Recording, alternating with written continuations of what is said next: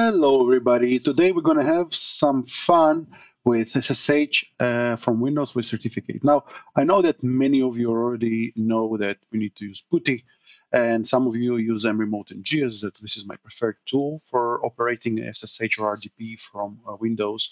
But those two are connected, and we're going to do it on uh, EC2, an Amazon instance and I'm going to enjoy it a lot. So I'm creating a really small machine for this demonstration, and I'm using a key pair that I created for my training. And I'm just going to click launch instance. It's going to be very, very small instance, but we would need to uh, connect to it using the uh, key uh, that uh, I generated yesterday. And to do so, this is, uh, you know, I mean, using PuTTY, probably you did it once or twice, but uh, with certificate, it's a little bit different. So as you know, you need to convert the certificate from PPK to PEM. And uh, this was already um, uh, covered in so many videos, so we're not going to do that. But already, I already did that, so I have the PPK file for uh, the um, uh, for the Windows for the Linux machine and well for for the key itself. And what I'm about to do is just use it. So uh, why are, am I doing this at the same time? The the PuTTY and mRemote NG because they are directly connected, right? So when we go to the tools over here, it will allow me to open PuTTY at some place, right? So I'll go to options, and I'll go to advanced and it says launch PuTTY. I, I could do it uh, from uh, the start menu, but doesn't matter. So I'm going to put an IP over here and this IP doesn't matter at all. Uh, I'm just showing both methods at the same time, but you could put but you could put any dummy IP if you want, because this is going to be for the mRemote NG. But uh, for the PuTTY, you need to use the real IP or the real DNS uh, server uh, address, doesn't matter. And we're going to give it a name. So we're going to say OPSB, uh, OPSB enablement. Enablement. And the reason I'm actually using the PPK key because I need to recognize it later right? So I'm not giving you the name of the machines because I'm going to use it multiple times later on.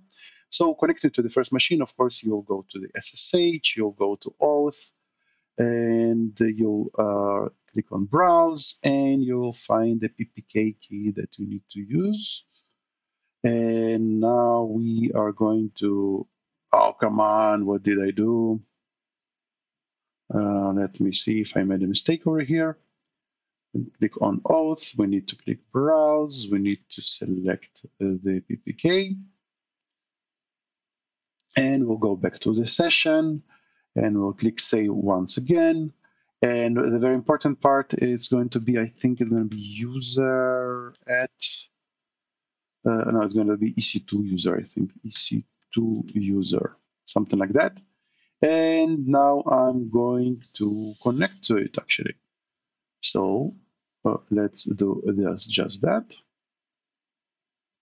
And I'll do it by just double clicking uh, the, uh, the session. Sorry, I need to load it.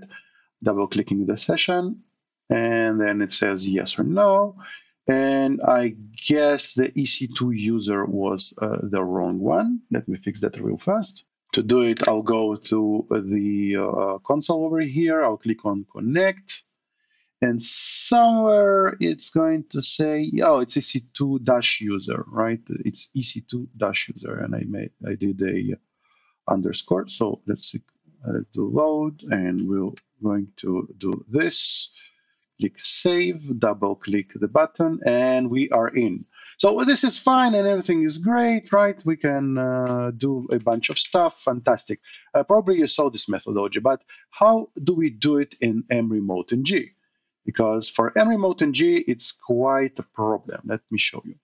I'll create a new folder. I'll call it SSH. I'll create a, uh, a new connection and go to SSH test. And when we will go to the settings over here, that this is where the problems start. Because if you'll go and select the SSH version 2 or something, you see, you get the port, you get the session, Uh, what you don't get, uh, actually get to, to use the host name as well. I think this is this one. Yes. So we're gonna paste this and the username is going to be ec2-user. Now, where, where is the certificate?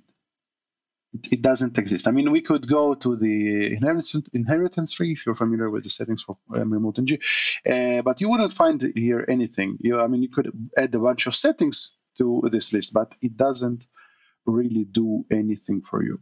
And uh, the reason is we need to use a saved PuTTY session to actually uh, to actually use this setting.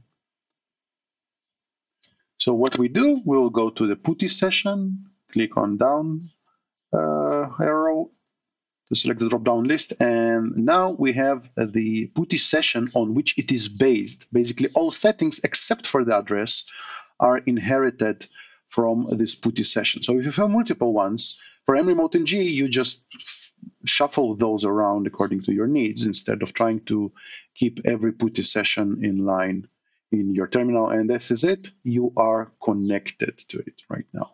So this is how you do it. I hope you like this uh, methodology and it does something for you and i'll see you in the next one